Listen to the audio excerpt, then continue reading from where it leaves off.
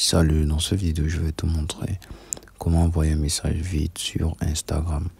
Alors, c'est très facile. Une fois dans la conversation où tu souhaites envoyer un message vide, tu vas te rendre compte que tu ne peux pas envoyer un message vide.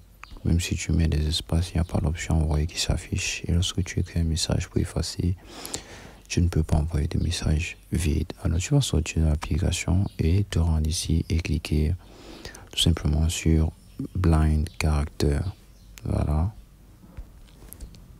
blanc caractère. Alors, parmi les options qui vont s'afficher, tu vas tout simplement cliquer sur la première option et tu seras redirigé vers cette page-ci. Voilà, tout ce que tu auras fait, c'est de copier dans le petit carré blanc ici. Cliquer sur copier, voilà. Et de revenir sur ton application Instagram, cliquer sur coller.